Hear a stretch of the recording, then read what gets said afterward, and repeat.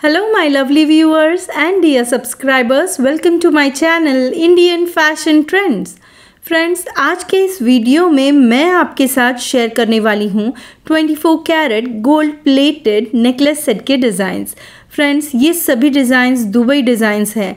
आप देख रहे होंगे बहुत ही अनयूजुअल बहुत ज़्यादा खूबसूरत डिज़ाइंस हैं। इस वीडियो में जितने भी डिज़ाइंस आप देख रहे हो, ये सभी डिज़ाइंस अवेलेबल हैं।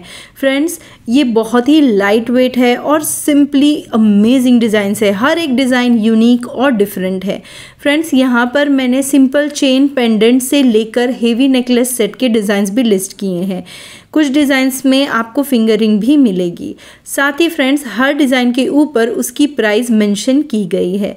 अगर आपको ये डिज़ाइंस परचेस करने हो तो आप बस प्रोडक्ट का स्क्रीनशॉट लीजिए और टाइटल और डिस्क्रिप्शन में जो व्हाट्सएप नंबर दिया गया है, उस नंबर पर भेजकर आपके ऑर्डर्स आप वहाँ से बुक कर सकते हो। तो फ्रेंड्स इन्जॉय करें इन खूबसूरत से डिज़ाइंस को और अगर आपको ये वीडियो अच्छा लगे तो प्लीज़ इसे लाइक और शेयर ज़रूर कीजिए। और हाँ फ्रेंड्स, अगर आपको कोई डिज़ाइन बहुत ही ज़्यादा अच्छी लगे तो उसका स्क्रीनशॉट लेकर आप आपके ज्वेलर से सिमिलर डिज़ाइन की ज्वेलरी भी कस्टमाइज़ करवा सकते हैं।